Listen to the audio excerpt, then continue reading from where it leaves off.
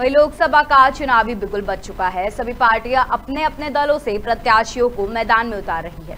वही सांसदीय क्षेत्र शहडोल सीट के लिए बहुजन समाज पार्टी ने अपने कार्यकर्ताओं के साथ उम्मीदवार धनी राम कोल के साथ नामांकन पत्र दाखिल किया।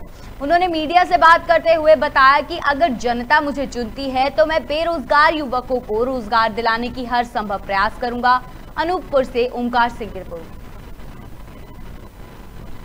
सबसे पहले मैं यहाँ रोज़गार उपलब्ध कराऊँगा। यहाँ किसी प्रकार से कोई फैक्ट्री है, कोई उत्पादन क्षेत्र है, कृषि के माध्यम है, ये कोई प्रोजेक्ट हैं, उन माध्यम से मैं उन तक रोज़गार दूँगा, रोज़गार दिलाने का प्रयास कराऊँगा।